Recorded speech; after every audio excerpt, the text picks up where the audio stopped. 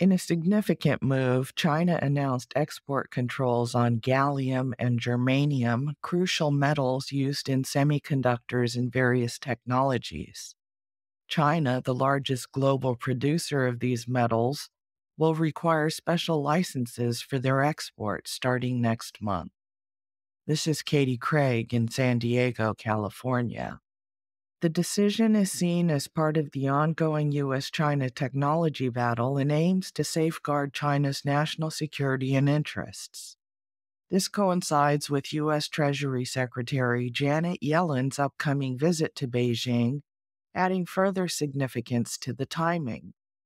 The U.S. has been actively curbing China's access to advanced microprocessors and other critical technologies gallium and germanium are vital components in semiconductor, communications, and military equipment, as well as in products like solar panels. The semiconductor industry has become a focal point in the intense rivalry between the two largest economies.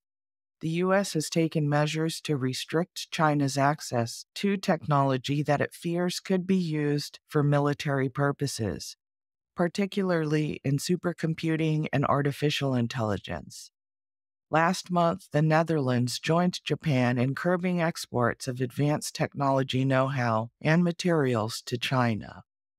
As the US China tech battle escalates, the future of artificial intelligence and whether China can surpass the US in this field remain key questions.